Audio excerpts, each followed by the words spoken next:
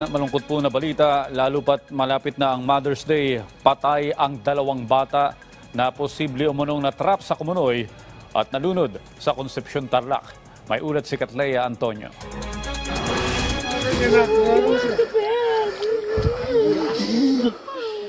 Labis ang pagdadalanghati ng mga magulang na ito sa sinapit ng kanilang mga anak.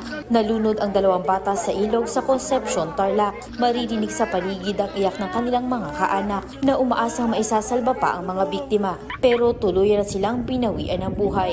Edad 10 at 11 ang mga bata. Pasado alas 3 kahapon ng hapon nang mapaulat silang nawawala matapos tumalon sa ilog. Nai-report lang ito sa mga kinauukulan alas 8 ng gabi. Unang na-recover ang katawan ng 10 taong gulang na biktima, habang ang kanyang kasama mag-aalas 11 na ng gabi nang matagpuan. Posible umanong napunta ang mga bata sa Kumunoy kaya ito nalunod.